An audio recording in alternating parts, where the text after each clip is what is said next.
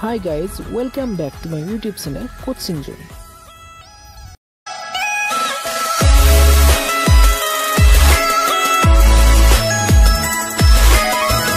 বন্ধুসকল আজি মই আপোনালোকৰ ওচৰলৈ অন্য এটি মেথছৰ ভিডিঅ' আগবঢ়াই লৈ আহিছোঁ আৰু যে আমি এই ভিডিঅ'টো ডিছকাছ কৰিম ক্লাছ এইট মেথছ টেক্সট বুকৰ আমাৰ এইট পইণ্ট থ্ৰী অনুসৰণিৰ তিনি নম্বৰ পাৰ্ট ইয়াৰ আগতে আমি একাধিক্ৰমে দুটা পাৰ্টত আমি ইয়াৰ একৰ পৰা চাৰিলৈ অংককেইটা সমাধান কৰিছোঁ আৰু আজি আমি এই পাৰ্টত পাঁচ নম্বৰ আৰু ছয় নম্বৰ অংক দুটা সমাধান কৰিবলৈ চেষ্টা কৰিম। গতিকে আহকচোন আমি বেছি দেৰি নকৰি সেই দুয়োটোৰ মাজলৈ যাওঁ আৰু সেই দুয়োটা অংক আমি কৰিবলৈ চেষ্টা কৰোঁ। গতিকে আমাৰ ইয়াত যিটো প্ৰথম অংক দিছে সেইটো এনেকুৱা ধৰণে দিছে যে পোন্ধৰশ টকাৰ টেন পাৰ্চেণ্ট হাৰাই দুই বছৰৰ। গতিকে ইয়াত পোন্ধৰশ টকা আমাৰ মূলধন টেন পাৰ্চেণ্ট আমাৰ সুতৰ হাৰ আৰু আমাৰ সময়টো দিয়া আছে দুই বছৰ। গতিকে ইয়াৰ পৰা আমি ইয়াত যিটো সমৃদ্ধি মূল আৰু যিটো মিশ্ৰ সুত সেইটো আমি ইয়াত উলিয়াব লাগে। গতিকে আচলতে আমি অংকটো এতিয়া সমাধান কৰিবলৈ চেষ্টা কৰোঁ।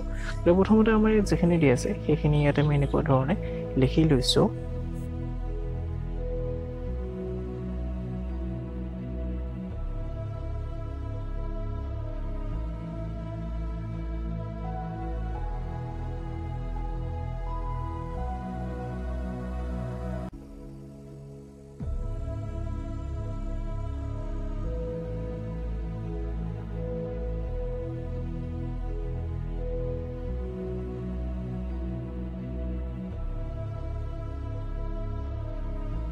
গতিকে দিয়াই থকা তথ্যখিনি লিখি লোৱাৰ পাছত আপোনালোকে জানে যে ইয়াত আমি মিশ্ৰ সুতটো আমি সৰল সূত্ৰৰ দ্বাৰা উলিয়াম। গতিকে প্ৰথম বছৰৰ বাবে যিটো সৰল সূত সেইটো আমি প্ৰথমতে ইয়াত উলিয়াই লওঁ। গতিকে সৰল সূত্ৰৰ সূত্ৰটো আপোনালোকে জানে ইতিমধ্যে আমি ভালেকেইটা অংক কৰিলোঁ। I is to P R T divided by hundred গতিকে এনেকুৱা ধৰণে আমাৰ পিৰ ঠাইত আমাৰ পিৰ মান লিখিম পোন্ধৰশ আৰৰ ঠাইত আমি আৰৰ মান লিখিম টেন পাৰ্চেণ্ট আৰু যিহেতু এক বছৰৰ বাবে লৈছোঁ সেয়েহে আমাৰ সময়টো থাকিব ওৱান কটা কটি কৰি দিলোঁ আল্টিমেটলি আমাৰ ইয়াত যিটো এনচাৰ আহিব সেইটো আমাৰ আহিব ইয়াত ওৱান ফিফটি টকা। গতিকে প্ৰথম বছৰৰ যিটো সৰল সুত সেইটো হ'ল ওৱান ফিফটি গতিকে এতিয়া দ্বিতীয় বছৰৰ বাবে যিটো মূলধন সেইটো আমাৰ মূল যিটো আমাৰ মূলধন আছে তাৰ লগত আমাৰ প্ৰথম বছৰৰ সৰল সুতটো যোগ হৈ হ'ব। কিয় আপোনালোকে জানে ইতিমধ্যে আমি ভালেকেইটা অংক কৰিছোঁ গতিকে দ্বিতীয় বছৰৰ মূলধনটো আমাৰ যিটো আমাৰ মূল মূলধন আছিল সেইটো আমাৰ পোন্ধৰশ লগতে আমাৰ ইয়াত ওৱান ফিফটিটো যোগ গতিকে আল্টিমেটলি আমি সেইটো পাম এনেকুৱা ধৰণে আমি ইয়াত দ্বিতীয় বছৰৰ বাবে যিটো আমি মূলধন সেইটো পাম one thousand six hundred fifty rupees গতিকে এনেকুৱা ধৰণে আমি পাই গ'লোঁ। পাই যোৱাৰ পিছত এতিয়া আমি দ্বিতীয় বছৰৰ যিটো সৰল সুত এতিয়া আমি সেইটো হেৰিয়াত উলিয়াম। গতিকে এনেকুৱা ধৰণে আমি লিখি লৈছোঁ। যে দ্বিতীয় বছৰৰ বাবে সৰল সুত।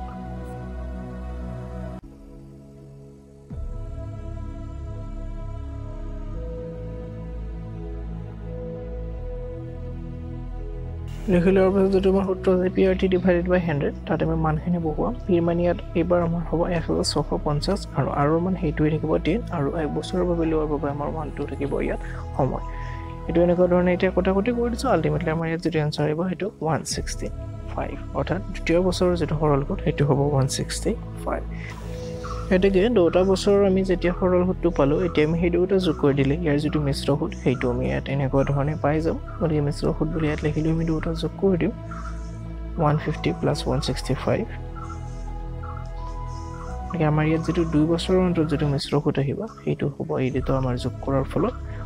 তিনিশ পোন্ধৰ টকা। গতিকে দুই বছৰৰ অন্তৰত আমাৰ মিশ্ৰ সূত্ৰ তিনিশ পোন্ধৰ টকা আৰু এতিয়া আমি ইয়াত যিটো সমৃদ্ধি মূল সেইটো লিখিম আপোনালোকে জানে যে সমৃদ্ধি মূল মানে হ'ল আমাৰ যিটো মূলধন তাৰ লগত আমাৰ যিটো মিশ্ৰ সুত সেই দুটা যোগ। গতিকে আমাৰ পোন্ধৰশৰ লগত আমাৰ তিনিশ পোন্ধৰ যোগ কৰি দিম আৰু আল্টিমেটলি আমি এনচাৰটো এনেকুৱা ধৰণে পাই যাম যে ওঠৰশ পোন্ধৰ টকা প্ৰবৃদ্ধি মূল হ'ল দুই বছৰৰ অন্তত গতিকে আশা ৰাখিছোঁ আপোনালোকে এইটো অতি সহজতে বুজি পালে ইয়াৰ পিছত আমাৰ যিটো নেক্সট ছয় নম্বৰ অংক আছে সেইটো মাজলৈ আহিছোঁ।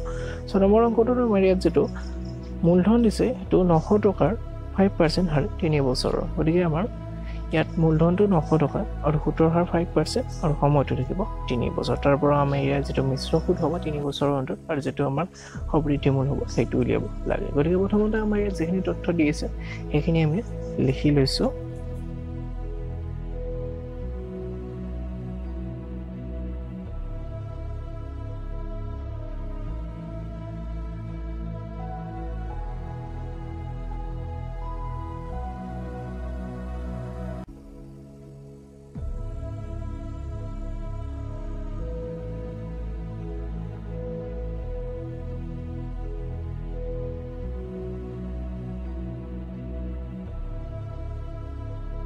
গতিকে দিয়াই থকা তথ্যখিনি আমি এনেকুৱা ধৰণে লিখি লোৱাৰ পাছত এতিয়া আমি ইয়াত প্ৰথম বছৰৰ যিটো সৰল সুদ সেইটো ইয়াত আমি লিখিম। যে প্ৰথম বছৰৰ সৰল সুদ যিটো আমি সৰল সুদ ব্যৱহাৰ কৰি ইয়াত মিশ্ৰ সুদ উলিয়াইছোঁ গতিকে আই এজ গ'লো P R T divided by hundred আপোনালোকে জানে এই সূত্ৰটো গতিকে আমাৰ ইয়াতে যিখিনি মান আছে সেইখিনি লিখিম। পি ঠাইত আমাৰ হ'ব নাইন হাণ্ড্ৰেড।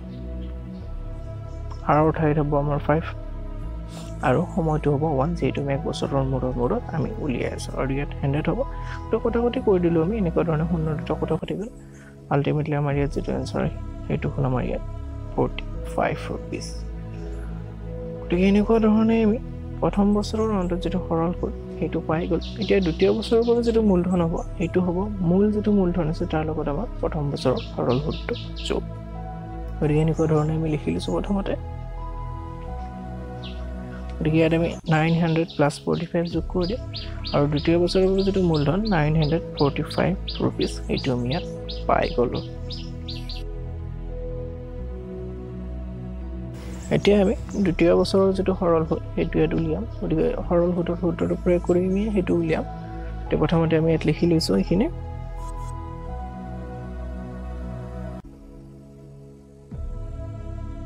ইয়াত সূত্ৰটো লিখি লৈছোঁ। I is equal to P R T divided by hundred আৰু ইয়াত আমি এতিয়া মানখিনি বহুৱাম। গতিকে পিৰ মান হ'ব আমাৰ ইয়াত নাইন হাণ্ড্ৰেড ফৰ্টি ফাইভ আৰু মান ফাইভ আৰু সময়টো থাকিব ওৱান যিহেতু এক বছৰ মূৰে মূৰে। কৰিছোঁ কটাকটি কৰি দিলোঁ পাঁচেৰে এশ পিছ বাৰলৈ আৰু এইখিনি কটাকটি যাব কিন্তু আমি ইয়াত কটাকটি নকৰাকৈ আমি ডাইৰেক্টলি হৰণ কৰি দিম। গতিকে এনেকুৱা ধৰণে নাইন ফৰ্টি ফাইভক টুৱেণ্টিৰে হৰণ কৰি দিম। হৰণ কৰি দিয়াৰ ফলত আমাৰ আল্টিমেটলি যিটো আমি এনচাৰ পাম সেইটো আমি পাম ইয়াত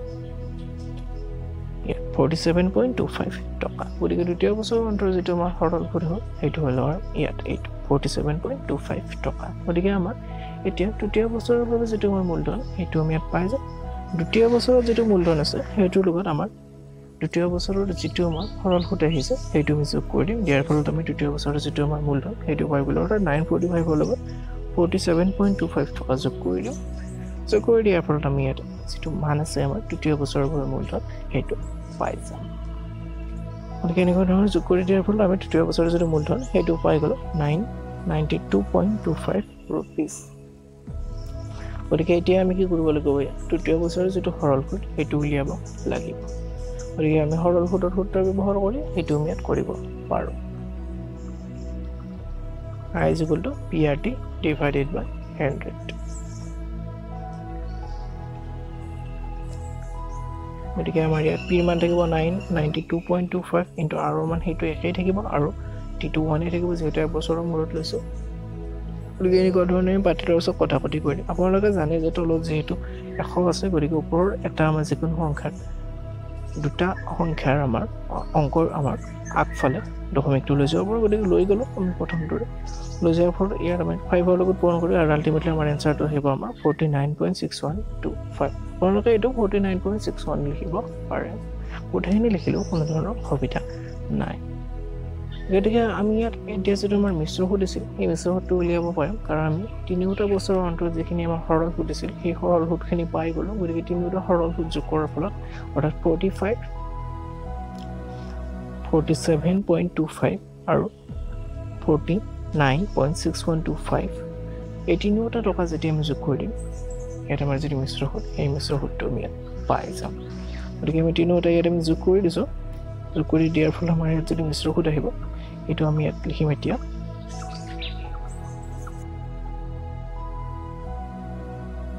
গতিকে তিনিওটা সৰল সুদ যোগ কৰাৰ ফলত আমাৰ মিশ্ৰ সুদটো আহিল one forty one point eight six টকা। অৰ্থাৎ আমাৰ তিনি বছৰৰ অন্তত আমাৰ ইয়াত যিটো মিশ্ৰ সুদ আহিব সেইটো হ'ব one forty one point eight six two five টকা।